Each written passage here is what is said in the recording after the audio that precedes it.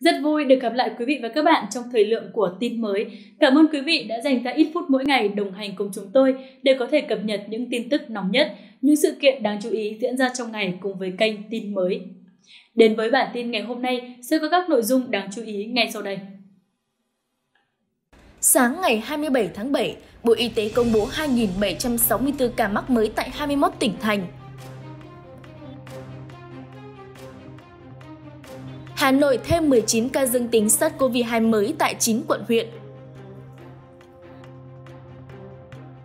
Hà Nội phong tỏa tạm thời trụ sở công an phường Lê Đại Hành.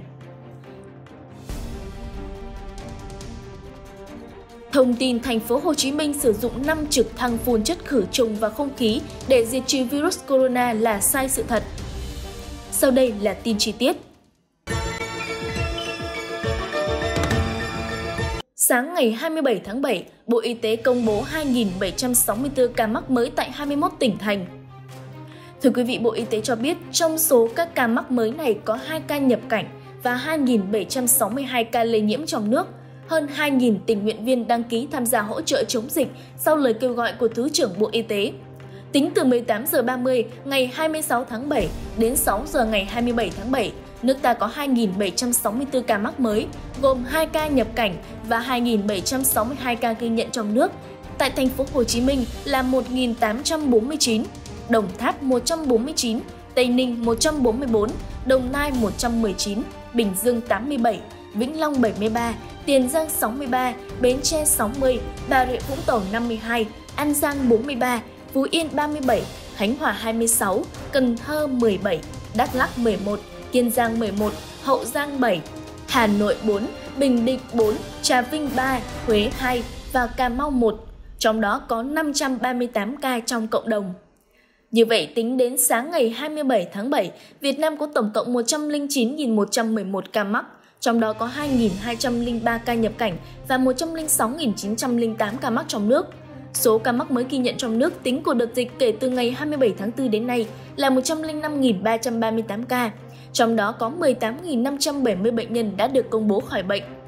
Có 8 trên 62 tỉnh, thành phố đã qua 14 ngày không ghi nhận trường hợp mắc mới là Yên Bái, Quảng Trị, Thái Nguyên, Điện Biên, Hải Dương, Quảng Ninh, Bắc Cạn, Nam Định. Có 9 tỉnh, thành phố không có lây nhiễm thứ phát trên địa bàn là Lào Cai, Ninh Bình, Con Tum, Hà Giang, Phú Thọ, Sơn La, Lai Châu, Hòa Bình, Tuyên Quang. Về tình hình điều trị, tổng số ca được điều trị khỏi là 21.344 ca, số bệnh nhân nặng đang điều trị ICU là 126 ca, số bệnh nhân nguy kịch đang điều trị ECMO là 15 ca. Trong ngày 26 tháng 7, có 109.234 liều vaccine phòng COVID-19 được tiêm. Như vậy, tổng số liều vaccine đã được tiêm là hơn 4,7 triệu liều, trong đó tiêm một mũi là 4 323.571 liều tiêm mũi 2 là 423.071 liều. Đến 18 giờ ngày 26 tháng 7, sau 2 ngày kể từ khi Thứ trưởng Bộ Y tế Nguyễn Trường Sơn, trưởng bộ phận thường trực đặc biệt hỗ trợ phòng chống dịch COVID-19 của Bộ Y tế tại thành phố Hồ Chí Minh có thư ngỏ đã có hơn 2.000 lượt người đăng ký, trong đó tình nguyện viên ngụ tại thành phố Hồ Chí Minh là gần 1.900 người, các tỉnh khác hơn 200 người thành phố Hồ Chí Minh chuyển chiến lược sang điều trị, tổ chức khoa học để điều phối hiệu quả các nguồn lực, tập trung cho công tác điều trị, giảm tỷ lệ tử vong. Sở Y tế Hà Nội yêu cầu Bệnh viện Phổi Hà Nội tạm dừng hoạt động khám chữa bệnh thông thường từ 18 giờ ngày 25 tháng 7, chuyển các ca nhiễm SARS-CoV-2 lên Bệnh viện Bệnh nhiệt đới Trung ương điều trị. Các bệnh nhân khác được phân luồng chuyển ngay qua ba bệnh viện khác của Hà Nội gồm Sanh Pôn, Thanh Nhàn và Đức Giang tỉnh Hà Tĩnh đón 814 công nhân đang lưu trú làm việc từ thành phố Hồ Chí Minh và các tỉnh phía Nam bằng tàu SE14 đã về đến Hà Tĩnh an toàn. Từ 0 giờ ngày 26 tháng 7, thành phố Cần Thơ phong tỏa bệnh viện đa khoa thành phố Cần Thơ do liên quan đến chùm ca dương tính với virus SARS-CoV-2. Ngày 26 tháng 7, Sở Y tế Tây Ninh cũng thông báo khẩn về chuyển tất cả các cơ sở khám chữa bệnh công lập thành bệnh viện giã chiến để điều trị bệnh nhân COVID-19.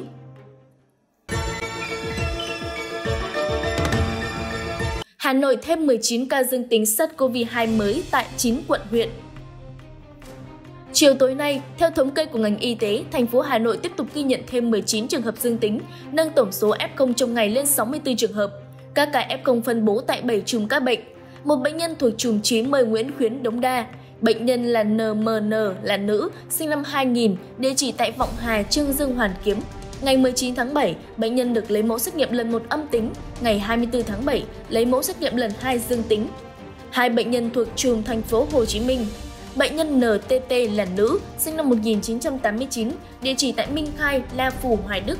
Bệnh nhân cùng F0, con, về từ thành phố Hồ Chí Minh ngày 16 tháng 7 trên chuyến bay QH240 số ghế 27F. Ngày 18 tháng 7, con bệnh nhân dương tính, bệnh nhân được chuyển sang cách ly tại Bệnh viện Đa khoa Đức Giang để chăm sóc cho con. Ngày 24 tháng 7, được lấy mẫu xét nghiệm, kết quả dương tính. Bệnh nhân NMQ là nam, sinh năm 1983, địa chỉ tại Ngô Sài, thị trấn Quốc Oai, là F1 tiếp xúc lần cuối ngày 9 tháng 7, đã được cách ly tập trung và lấy mẫu xét nghiệm lần 2 đều âm tính. Ngày 26 tháng 6, bệnh nhân được lấy mẫu xét nghiệm lần 3 dương tính. 4 bệnh nhân thuộc chùm Tân Mai, Hoàng Mai, Bệnh nhân DHC là nam, sinh năm 1991, địa chỉ tại ngõ 82 Nguyễn An Ninh, Tương Mai, Hoàng Mai là F1 và là đồng nghiệp của F0 tại công ty địa chỉ 167 Trung Kính, Yên Hòa, Cầu Giấy. Ngày 19 tháng 7, bệnh nhân được lấy mẫu xét nghiệm lần 1 âm tính. Ngày 25 tháng 7, lấy mẫu xét nghiệm lần 2 dương tính. Bệnh nhân DPT là nam, sinh năm 1992, địa chỉ tại Trần Cung Cổ Nhuế, Bắc Từ Liêm, là F1 tiếp xúc với F0 lần cuối ngày 14 tháng 7. Ngày 18 tháng 7, bệnh nhân được lấy mẫu xét nghiệm lần 1 âm tính. Ngày 25 tháng 7, lấy mẫu xét nghiệm lần 2 dương tính. Bệnh nhân TTT là nữ, sinh năm 1995, địa chỉ tại tổ dân phố số 3, Thượng Cát, Bắc Từ Liêm, là F1 tiếp xúc với F0 lần cuối ngày 22 tháng 7. Ngày 24 tháng 7, bệnh nhân được cách ly tập trung, cùng ngày có ho, đau rát họng. Ngày 25 tháng 7, được lấy mẫu xét nghiệm kết quả dương tính. Bệnh nhân TTI là nữ, sinh năm 1939, địa chỉ tại 714B A2, Thanh Xuân Bắc, Thanh Xuân, là F1. Ngày 20 tháng 7, bệnh nhân được xét nghiệm lần 1 âm tính. Ngày 25 tháng 7, được lấy mẫu xét nghiệm lần 2 dương tính. Ba bệnh nhân thuộc chùm B6 Trại Găng, Hai Bà Trưng. Bệnh nhân DTMH, nữ, sinh năm 1988, bệnh nhân LNTD, nữ, sinh năm 2020, Cả hai bệnh nhân đều ở ngõ Quỳnh, Thanh Nhàn, Hai Bà Trưng và đều là F1, vợ và con của ca dương tính ghi nhận trước đó. Ngày 18 tháng 7, bệnh nhân được lấy mẫu xét nghiệm lần 1 âm tính. Ngày 25 tháng 7, được lấy mẫu xét nghiệm lần 2 dương tính. Bệnh nhân BBK là nam, sinh năm 2020, địa chỉ tại ngõ Quỳnh, Thanh Nhàn, Hai Bà Trưng. Bệnh nhân là F1 tiếp xúc lần cuối F0 ngày 19 tháng 7. Cùng ngày, bệnh nhân được lấy mẫu kết quả xét nghiệm âm tính. Ngày 24 tháng 7, bệnh nhân được lấy mẫu kết quả xét nghiệm lần 2 dương tính. 6 bệnh nhân thuộc chùm ho sốt thứ phát.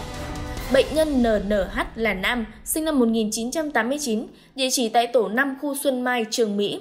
Bệnh nhân làm ở bộ phận MA, quản lý đơn hàng công ty S, khu công nghiệp Phú Nghĩa cùng với F0 DTL, nhưng khác bộ phận làm việc. Ngày 25 tháng 7, khi bệnh nhân DTL có kết quả xét nghiệm dương tính, bệnh nhân được lấy mẫu xét nghiệm kết quả dương tính. Bệnh nhân NTD là nữ, sinh năm 2020, địa chỉ tại Xuân Linh, Trường Mỹ. Bệnh nhân TTH là nữ, sinh năm 1983, địa chỉ tại xóm trại, thôn 2, Đại Yên, Trường Mỹ. Hai bệnh nhân là công nhân bộ phận may mẫu của công ty S cùng bộ phận với F0 DTL. Ngày 25 tháng 7, các bệnh nhân được lấy mẫu xét nghiệm, kết quả dương tính. Bệnh nhân TAQ là nam, sinh năm 2008. Bệnh nhân TNA nữ, sinh năm 2002. Bệnh nhân TQH là nam, sinh năm 1958. Cả ba bệnh nhân có địa chỉ tại Lò Đúc, Đông Mác, Hai Bà Trưng và ở trong khu vực phong tỏa liên quan đến các bệnh nhân dương tính trước đó. Ngày 26 tháng 7, các bệnh nhân được lấy mẫu, kết quả dương tính. Một bệnh nhân thuộc chùm nhà thuốc 95 Láng Hạ Bệnh nhân là VQT, là nam sinh năm 2006, địa chỉ tại Nguyễn Trí Thanh, Láng Thượng, Đống Đa, là F1. Ngày 19 tháng 7, bệnh nhân được lấy mẫu xét nghiệm lần 1 âm tính và chuyển cách ly tập trung. Ngày 24 tháng 7, bệnh nhân được lấy mẫu xét nghiệm lần 2 dương tính. Hai bệnh nhân thuộc chùm sàng lọc ho sốt cộng đồng. Bệnh nhân LTS là nữ, sinh năm 1995, địa chỉ tại tổ dân phố Đại Cát, Liên Mạc, Bắc Từ Liêm. Ngày 23 tháng 7, bệnh nhân xuất hiện gai rét, mệt, đau họng. Ngày 25 tháng 7, bệnh viện làm test nhanh, dương tính. Lấy mẫu chuyển đến Bệnh viện Đa khoa Đức Giang xét nghiệm real-time PCR, dương tính. Bệnh nhân PTTT là nữ sinh năm 1997, địa chỉ tại Hàng Bài, Hoàn Kiếm. Ngày 23 tháng 7, bệnh nhân xuất hiện sốt, đau họng. Ngày 24 tháng 7 đến khám tại Bệnh viện Hồng Ngọc, được lấy mẫu xét nghiệm, kết quả dương tính. Tính từ ngày 29 tháng 4 đến nay, Hà Nội đã ghi nhận 794 trường hợp dương tính với SARS-CoV-2, trong đó hiện còn 525 trường hợp dương tính thuộc các ổ dịch chưa qua 14 ngày. Đặc biệt, ổ dịch liên quan đến Bệnh viện Phổi Hà Nội mới được công bố sáng nay nhưng đã ghi nhận 27 trường hợp dương tính là người bệnh, người nhà người bệnh và nhân viên y tế.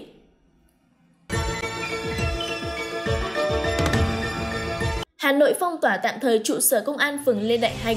Trao đổi với phóng viên tối ngày 26 tháng 7, Chủ tịch Ủy ban nhân dân phường Lê Đại Hành, quận Hai Bà Trưng, Hà Nội cho biết, địa bàn vừa ghi nhận một ca nghi nhiễm SARS-CoV-2. Theo vị lãnh đạo, ca nghi nhiễm là một cán bộ thuộc công an phường Lê Đại Hành. Chính quyền đã lấy mẫu xét nghiệm của trường hợp trên cùng 35 người khác tại cơ quan này, gửi lên CDC Hà Nội và đang chờ kết quả. Hiện trụ sở công an phường Lê Đại Hành ở số 41 phố Nguyễn Đình Chiểu đã tạm thời bị phong tỏa và được phun khử khuẩn. Hôm nay, Hà Nội ghi nhận thêm 81 ca dương tính với SARS-CoV-2, cao hơn 66 người so với ngày 25 tháng 7. Trong đợt dịch thứ tư bùng phát từ ngày 29 tháng 4, Hà Nội ghi nhận tổng cộng 794 trường hợp nhiễm SARS-CoV-2. Ngoài ra, còn có hơn 200 ca mắc COVID-19 ở các bệnh viện tuyến trung ương.